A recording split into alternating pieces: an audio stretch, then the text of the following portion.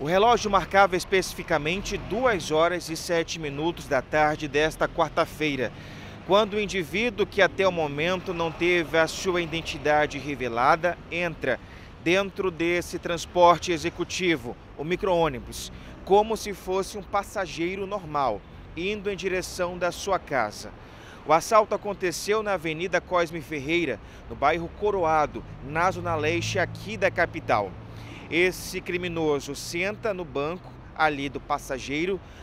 Alguns segundos depois, quando ele percebe a hora de agir, ele levanta, vai em direção até o motorista e anuncia o assalto.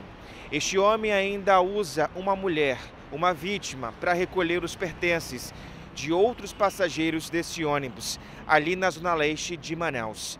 Ele está com o braço enfaixado, mas segundo o motorista desse veículo, de 58 anos, que preferiu não se identificar, esse criminoso não apresentou nenhuma dificuldade durante essa ação criminosa. Ele ainda pediu para o motorista desviar a rota no momento desse assalto, indo em direção até o bairro Ouro Verde, o local em que este criminoso conseguiu fugir. O motorista muito abalado em relação a essa situação, juntamente com esses passageiros.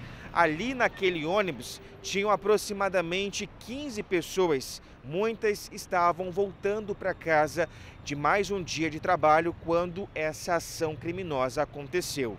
Este homem conseguiu levar dinheiro, celular e outros pertences dessas vítimas desse ônibus da linha 821 que faz o transporte dos moradores do bairro Coroado, na zona leste de Manaus. A Polícia Civil do Amazonas agora pede ajuda para tentar localizar esse indivíduo que aparece nas imagens. Qualquer informação, basta ligar no 181 ou 190 e não precisa se identificar.